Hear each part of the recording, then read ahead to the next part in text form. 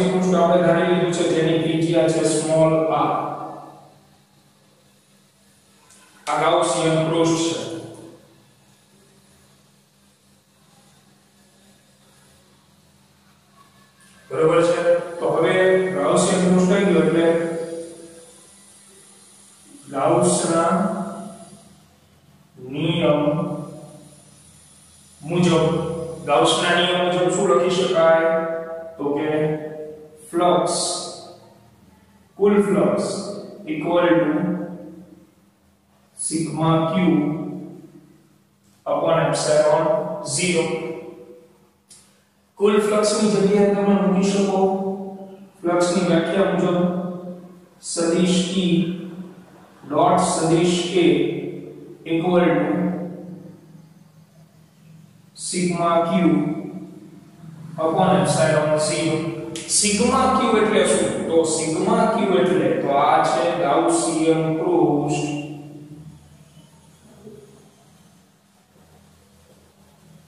તો સિગ્મા ક્યુ એટલે શું તો કે ગાઉસિયન પૃષ્ઠ વડે ઘેરાતો વિદ્યુત ભાર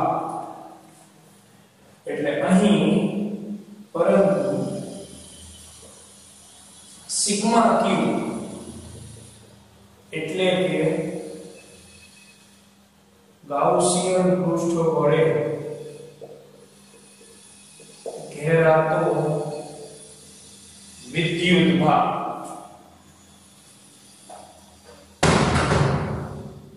તો અહીંયા સિગ્મા ક્યુ એટલે ગાઉસિયન પૃષ્ઠ વડે એટલે અહીંયા જે પૃષ્ઠ નાનું દેખાય છે એના વડે ઘેરાતો વિદ્યુતભાર કંઈ જ નથી.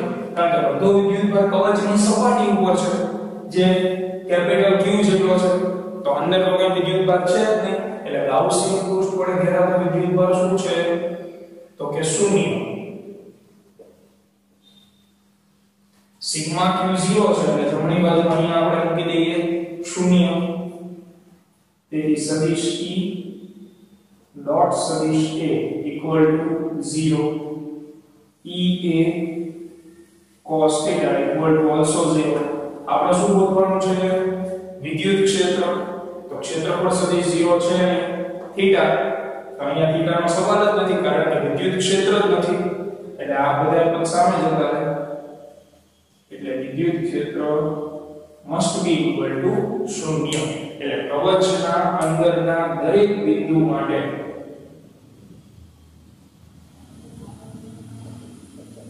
વિદ્યુત ક્ષેત્ર ફરજિયાત શું હોય શૂન્ય જ હોય બરોબર છે હવે આપણે બાર એક બિંદુ સિલેક્ટ કરશું અને સેમ પ્રોસેસથી આપણે ચાલીશું એટલે 12 ના બિંદુએ પણ વિદ્યુત ક્ષેત્ર આપણને મળી જશે બરોબર છે તો આને વખત શાંતિથી જોઈ પછી આગળ વધીએ આપણે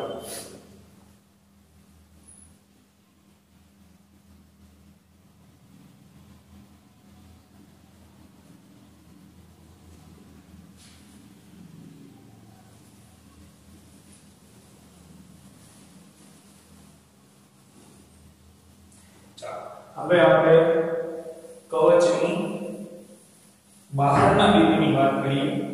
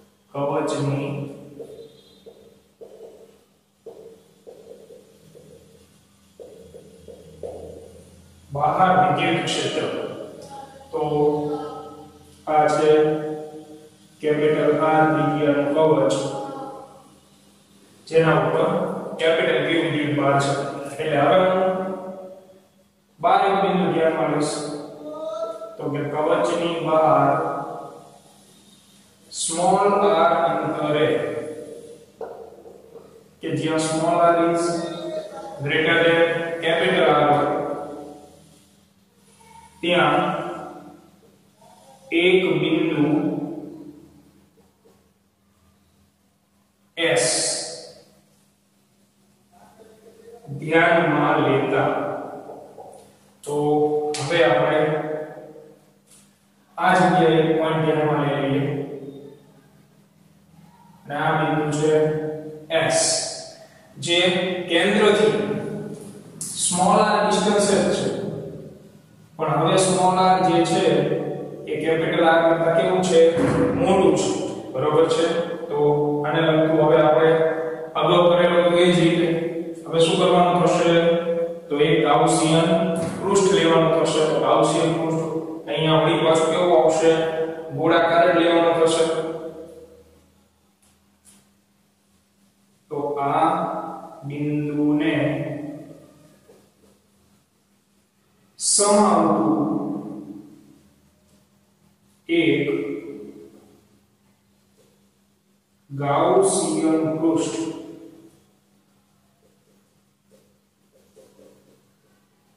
ધ્યાનમાં લો તો આને સમાવતું એક ગાઉસિયન પૃષ્ઠ આપણે દોરીએ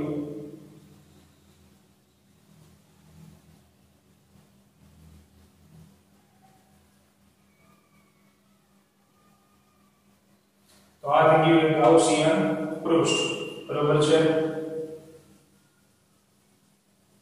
એટલે કે આવા ઘણા બધા બિંદુઓ માટેની આપણે વાત કરી રહ્યા છીએ જે પૃષ્ઠની અથવા કવચની ક્યાં હશે બહારની સાઈડ હશે બરોબર છે તો આ થઈ ગયું ગાઉસિયન પૃષ્ઠ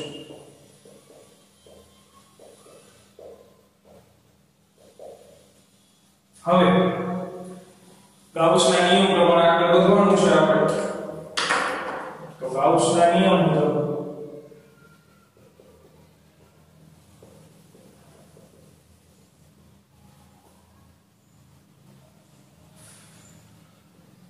કુલ flux equal to sigma Q upon epsilon 0 કુલ ફ્લક્સની જગ્યાએ હું મૂકી દઈશ સદિશ E ડોટ સદિશ A equal to sigma Q upon epsilon 0 તો અહીંયા જો કે સિગ્મા ક્યુ એટલે શું થશે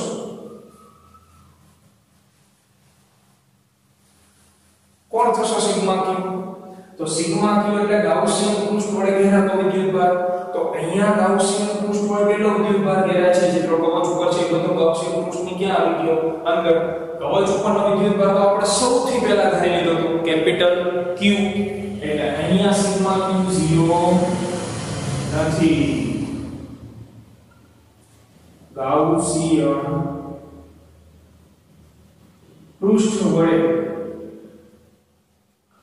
ઘેરાતો વિદ્યુત ભાર જે છે કેપિટલ ક્યુ જે આપણે પહેલા લાઈન લખી કે કવચ ધારો કેપિટલ આર ત્રિજ્યાનું જેના ઉપર વિદ્યુત ભાર કેટલો હોવો તો કે કેપિટલ ક્યુ આ કેપિટલ ક્યુ છે હવે આની વાત કરીએ તો વિદ્યુત ક્ષેત્ર તો આ પોતે ધન વિદ્યુત ભાર છે ધન વિદ્યુત ભાર હોવાથી ક્ષેત્ર રેખાઓ બહાર નીકળે તો હું આ બિંદુની જો વાત કરું આ વિદ્યુત ભારની નાના રીતે ક્ષેત્ર રેખા અહીંયા બહાર નીકળી ગયા એટલે વિદ્યુત ક્ષેત્ર આ છે.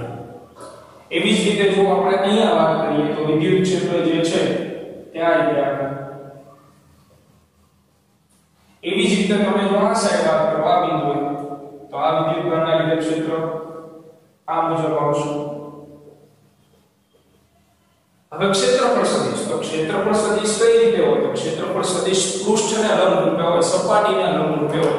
તો કવચ ગોળાકાર છે. ગોળાકાર કવચ હોય આવી રીતે તો જે ક્ષેત્રફળ સદિશ છે એની સપાટીના લંબ રૂપે ક્યાં નીકળતો હોય બહારની સાઈડ નીકળતો હોય તે બિંદુ પાસે એટલે અહીંયા જો ક્ષેત્રફળ સદિશ દર્શાવીએ તો સપાટીના લંબ રૂપે એટલે આ રીતે થાય એવી જ રીતે જો અહીંયા ક્ષેત્રફળ સદિશ દર્શાવીએ તો એ આ રીતે થશે એ જ રીતે અહીંયા ક્ષેત્રફળ સદિશ દર્શાવીએ તો એ આ રીતે થશે સદિશ a તો દર વખતે તમને ખૂણો જો 0 ડિગ્રી મળે કારણ કે બંને સમાંતર છે એટલે e a cos θ લખીએ આપણે તો અહીંયા સીધે સીધું લખી નખાય e a cos 0 degree which is equal to q by epsilon 0 cos 0 કેટલું થઈ જશે 1 તેથી e into a q upon epsilon 0 a એટલે ક્ષેત્રફળ. ક્ષેત્રફળ કોનું લેવાનું થશે તો જ્યાં આપણે e એ દોરેલા છે, એટલે ગાઉસિયન પૃષ્ઠ, તો ગાઉસિયન પૃષ્ઠનું ક્ષેત્રફળ કેટલું થશે? કવચ છે. કવચનું ક્ષેત્રફળ હોય 4 pi r સ્ક્વેર પણ અહીંયા ત્રિજ્યા કોની લેવાની થાય? ગાઉસિયન પૃષ્ઠની, એટલે સ્મોલ r. તો આની જગ્યાએ 4 pi small r square. q by epsilon 0 આ 4 pi r square છે એમાં લેતા સામે એટલે e 4 pi epsilon 0 into r square બરોબર છે આ પર મેં અહીંયા મૂકી દીધું એટલે 4 pi epsilon 0 ભેગા થઈ ગયા હવે 1 upon 4 pi epsilon 0 તો એની જગ્યાએ તમે મૂકી શકો કુલંબ અચળાંક k એટલે E is equal to kq upon r square. That is the વિદ્યુત ક્ષેત્ર outside the કવચ કવચની બહારના બિંદુએ વિદ્યુત ક્ષેત્ર આ મુજબ જે અંતર સાથે વર્ગ પ્રમાણે, વ્યસ્ત વર્ગ પ્રમાણે ઘટતું જશે બરાબર? એટલે આપણે અગાઉ એક વખત સમજાવ્યું હતું કે બધો વિદ્યુત ભાર કવચના કેન્દ્ર ઉપર જ કેન્દ્રિત થયેલો એવું તમે ધારી શકો. તો બે બાબત ભણી ગયા આપણે કવચના અંદરના બિંદુએ વિદ્યુત ક્ષેત્ર સંપૂર્ણપણે શું હોય? 0 અને ના બિંદુએ, તો કે kq r2 મુજબ બદલાતું હોય. હવે અહીંયાથી થોડુંક એવું એડવાન્સ ભણીએ આપણે. બાકી થિયરીમાં થિયરી પોર્શનમાં તમે અહીંયા સુધી લખવાનું રહેશે બરોબર? હવે એડવાન્સ શું? તો જોઈએ.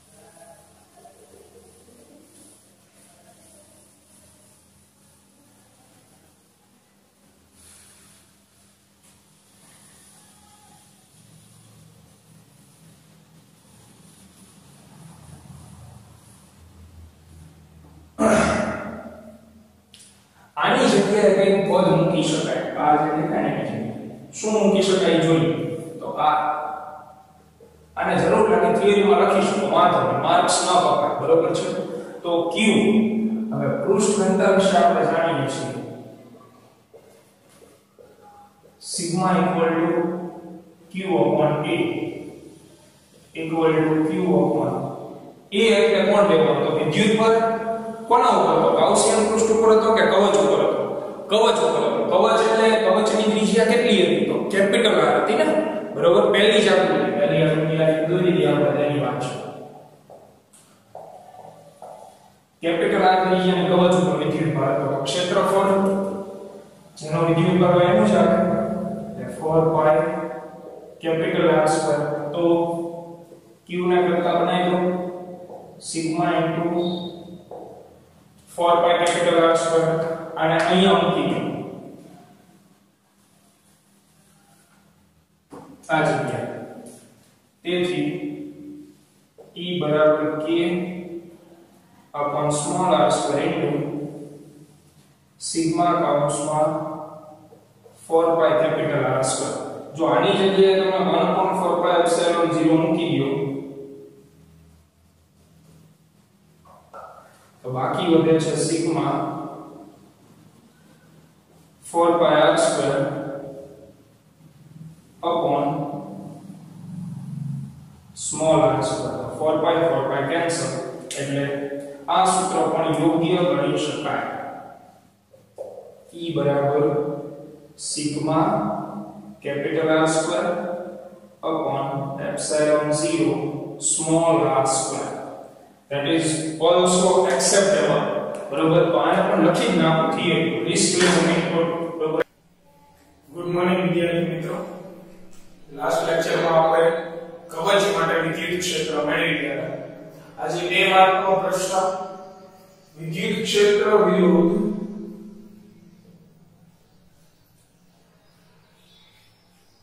કેન્દ્રથી અંતરનો આલેખ એટલે આપણે એક કવચ લઈએ આ રીતે કવચ અને કવચ માટે વિદ્યુત ક્ષેત્ર વિરુદ્ધ કેન્દ્રથી અંતરનો આલેખ દોરવાનો છે આપણે એટલે અત્યારે આપણે કેન્દ્ર ઉપર ઉભા છીએ બરોબર છે તો આ જગ્યાએ લઈ લઈએ કેન્દ્ર આ અક્ષ ઉપર વિદ્યુત ક્ષેત્ર લઈ લઈએ અને અહીંયા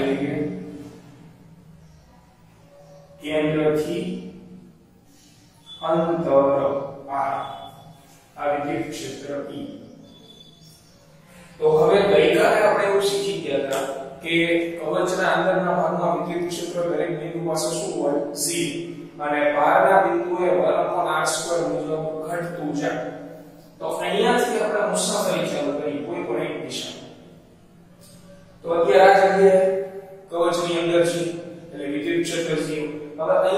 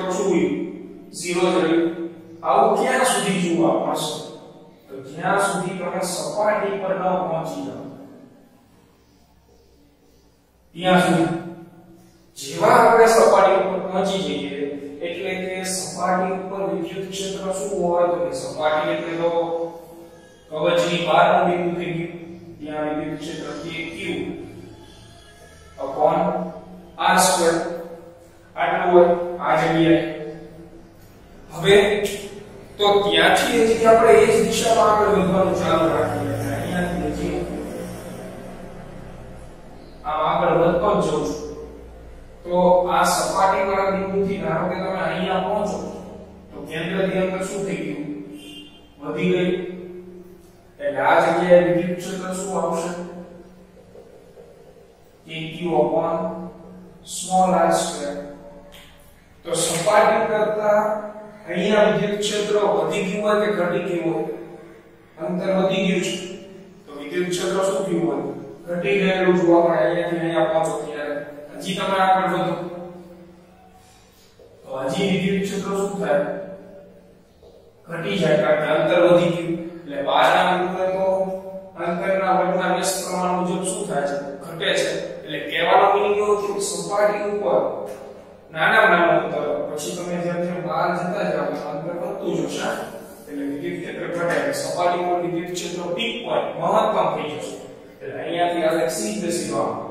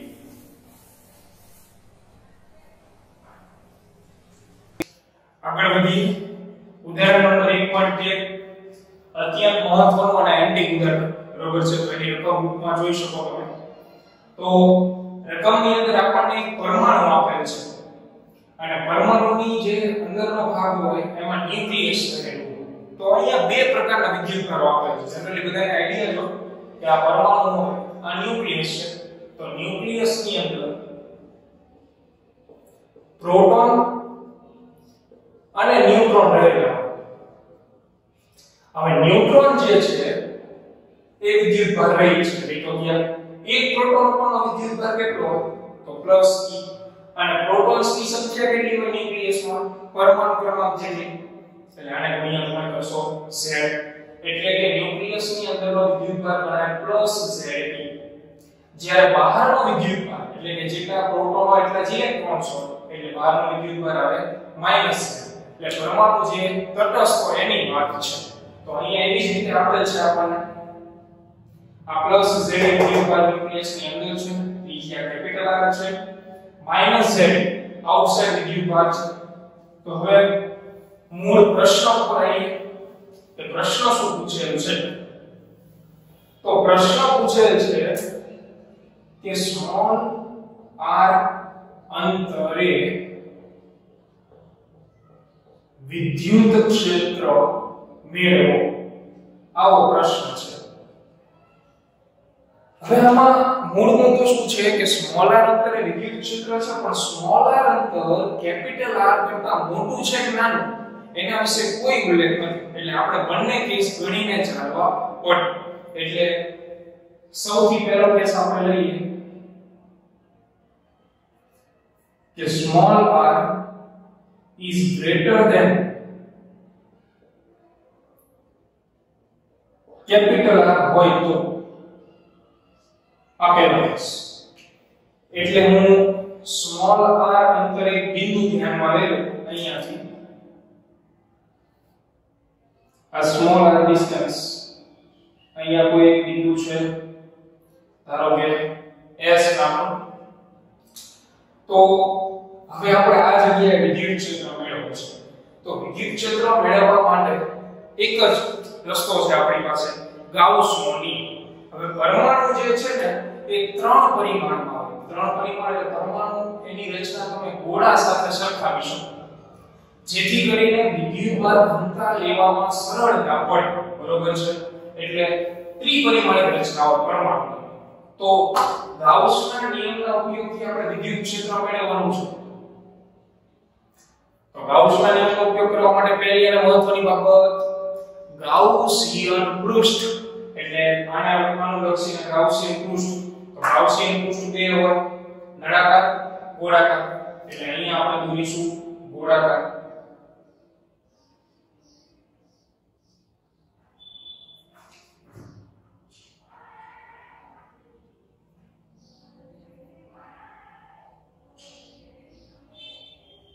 Agora, para o CM,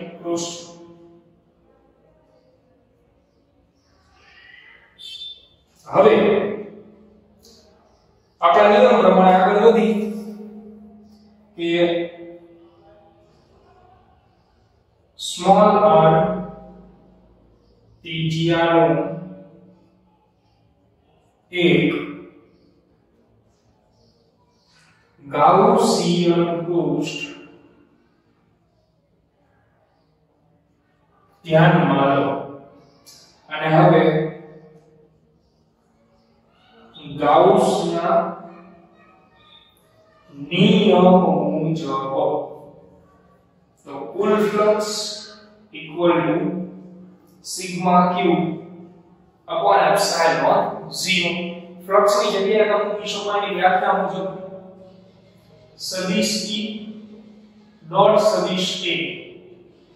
equal to sigma q upon epsilon 0 now sigma q is what તો sigma q એટલે રેડ કલરના ઝોન વડે ઘેરાતો ટોટલ વિદ્યુતભાર તો આના વડે ઘેરાતો ટોટલ વિદ્યુતભાર કેટલો દેખાય છે પ્લસ z અને માઈનસ z એટલે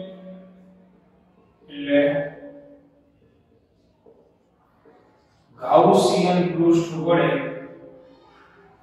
ઘેરાતો કુલ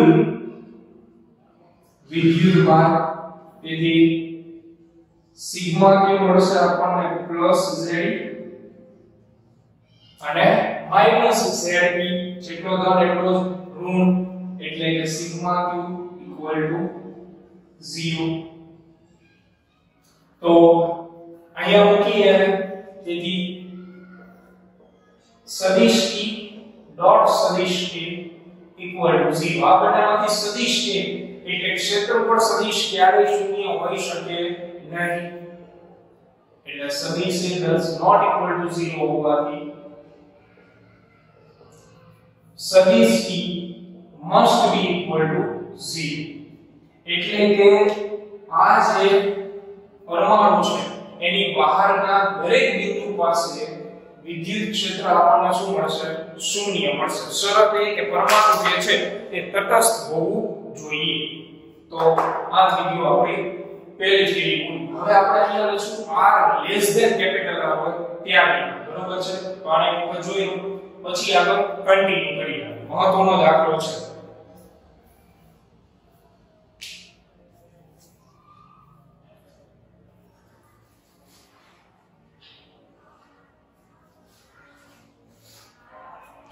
ચાલો હવે હવે આપણે લઈએ સ્મોલ r લેસ ધેન તો આ તો એમના જ રહેવાનું છે હવેનો જે કેસ છે ને એ અત્યંત મહત્વનો ધ્યાન આપજો વ્યવસ્થિત small r less than capital r એટલે કે હવે બિંદુ બહાર નહીં પણ અંદર લેવાનું થશે આપણે એટલે અહીંયા હું એક બિંદુ ધ્યાનમાં લઉં છું પોઈન્ટ P તો આવી જ રીતે ગાઉસિયન પૃષ્ઠ બનાવવું પડે આપણે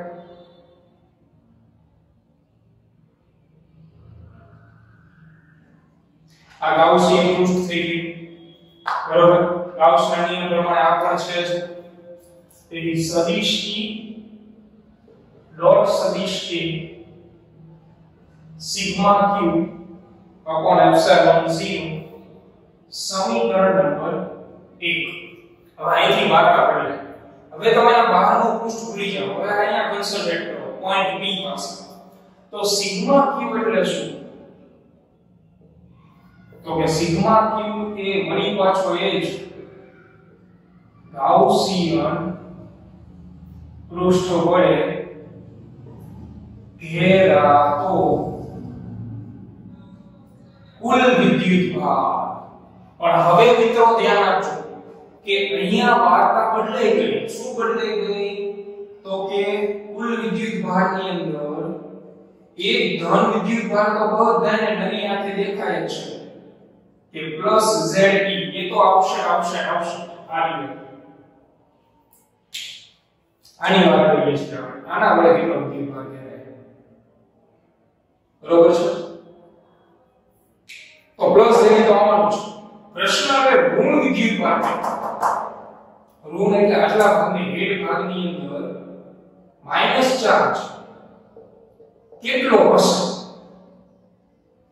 તો મોટા ભાગનો શું કરે ખબર કે માઈનસ z પણ ભાઈબંધ માઈનસ z એ ઋણ વિદ્યુત ભાર શેની અંદર છે કેપિટલ R ત્રીજી હોય ત્યારની વાત છે આટલો ભાગ હોય તો એની અંદર માઈનસ z છે આપણું પૃષ્ઠ પરમાણુ જેટલું છે કે એના કરતા નાનું છે નાનું છે આ રહ્યું તો પછી માઈનસ z ન લખી શકાય ને બરોબર એટલે એના કરતા કંઈક કેવું વિદ્યુત ભાર હોય એનું ઓછું વધારે તો હશે નહીં ધારો કે આ કેપિટલ R ત્રિજ્યા આપણે માઈનસ 10 કુલમ ઘેરાતો તો સ્મોલ r ત્રિજ્યા અહીંયા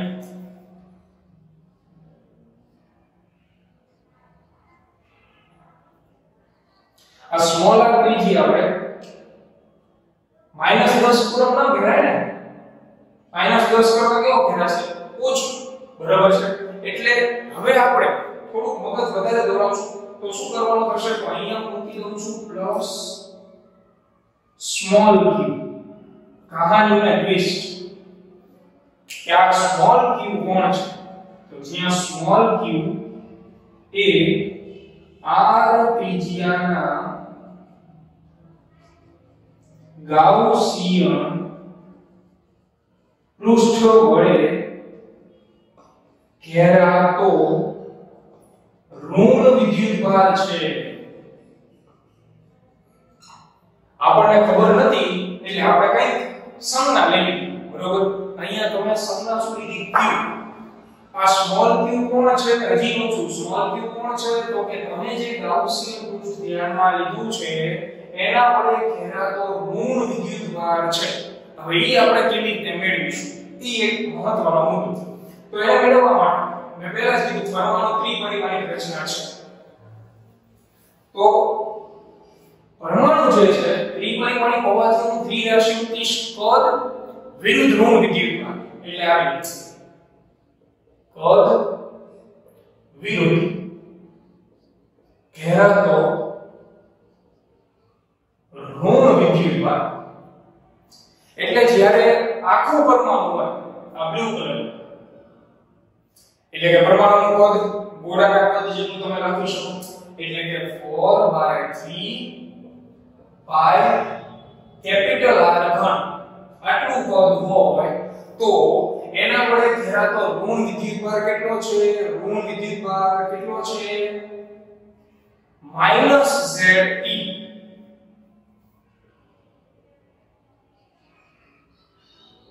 પણ આપણી પાસે તો એના કરતા ઓછું પદ છે ઓછું એટલે કેટલું પદ છે તો કે 4 by 3 i small r ઘન તો એના વડે ખેડાતો ઋણ વિદ્યુતભાર ચિત્ર બરોબર એટલે અહીંયા હું મૂકીશ આ કોણ આવ્યું ઋણ વિદ્યુતભાર એટલે r હોય એટલે કે સ્મોલ q તેથી small q which is equal to આપણને એનો ગુણાકાર 4 by 3 pi small r1 minus z આ બેનો ગુણાકાર છે ધ્યાન રાખજો અને પછી માઈનસ ન મૂકી દેતા છેદમાં 4 by 3 pi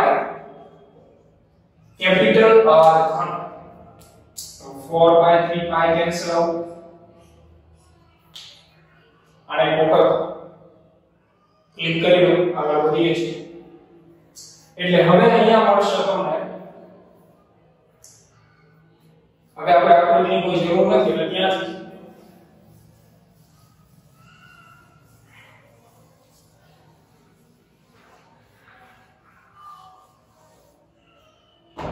small q equal to minus ze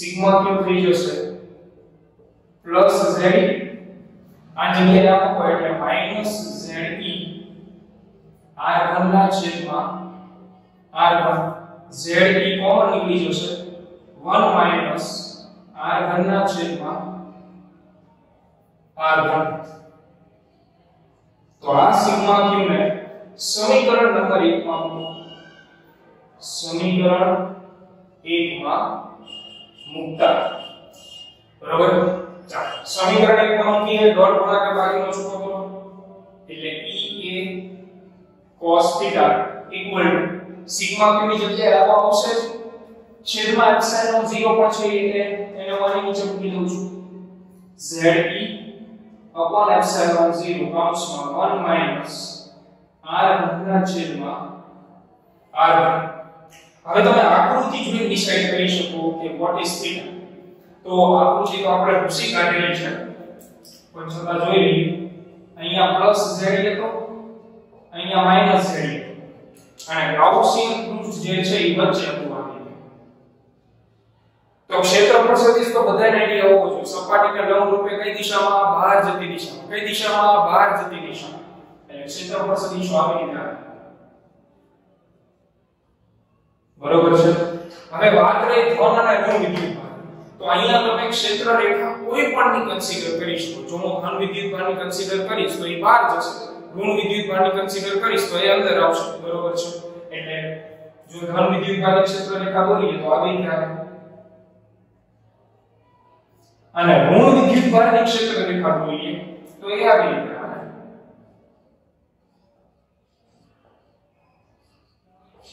તો હવે શું થાય કે દરેક કેસમાં તમે જુઓ, ક્ષેત્ર બ્લુ પડી લો કે બ્લેક પડી લો? ખૂણો અહીં હોય કાં તો 0 બનશે અથવા 180 બનશે. એનાથી મૂલ્યમાં કોઈ જ ફેર પડવાનો નથી, કારણ કે cos 0 એ cos 180 માઇનસ પણ મૂલ્ય કેટલું મળાય એક જ એટલે અહીંયા થીટા તમે કોઈ પણ કન્સિડર કરી શકો. જો તમે માઇનસ લેશો તો એ માઇનસ દિશાની સામે આપી દેશો ઘટાડવાનું ઉલટેલું છે. એનાથી જવાબમાં કોઈ ફેર પડવાનો નથી. બરોબર છે? એટલે બુકમાં પણ આ ક્લિયરલી લખેલું છે. એટલે અહીંયા તમારા થીટા 0 અથવા 180 આવશે. એટલે આપણે કન્સિડર કરીએ 0 કારણ કે માઇનસ સાથે બહુ જાજો લગાવ નથી આપણે બરોબર છે? એટલે કન્સિડર કરીને ચાલીએ 0 ડિગ્રી થીટા બરાબર 0 અથવા 180 પણ થાય તો મૂકી અહીંયા cos 0 એટલે e કૌંસમાં a z e epsilon 0 1 minus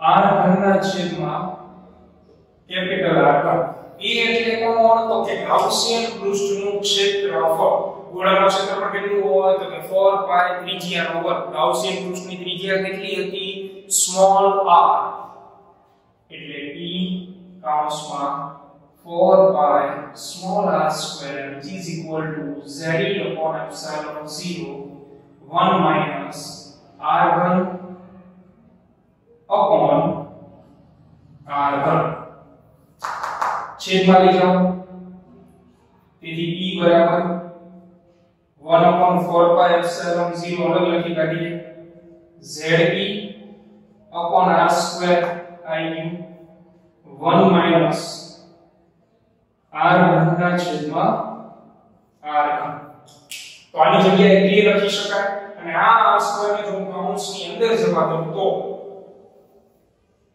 એટલે e બરાબર k z e r square અંદર આવે એટલે 1 upon r square minus r1 છેદમાં r square into capital R1 આ બે કેન્સલ આઉટ થાય એટલે લાસ્ટ આન્સર આવશે આવો કંઈક k z e 1 by r square minus small r by capital R1 that is the required answer so that is unique example in chapter તો બહુ વ્યવસ્થિત રીતે આને સમજો ઝડપથી રિવાઇઝ કરી લઈએ આપણે ન્યુક્લિયસ લીધું સ્મોલ r ત્રિજ્યા તમારે વિદ્યુત ક્ષેત્ર મેળવવું તો આઉટસાઇડ શું થઈ જાય તો કે 0 કારણ કે તટસ્થ હતું જેટલો ધાન હોય એટલો જ ઋણ વિદ્યુત ભાર અંદરની વાત કરીએ તો એ જ પ્રોસેસ રિપીટ કરવાની હતી પણ ટ્વિસ્ટ જે હતો એ અહીંયા એટલે કે ઋણ વિદ્યુત ભાર તમે શું મેળવશો? તો કે ત્રિરાશિ મૂકીને જ્યારે તમે આખું પરમાણુ લઈ લો,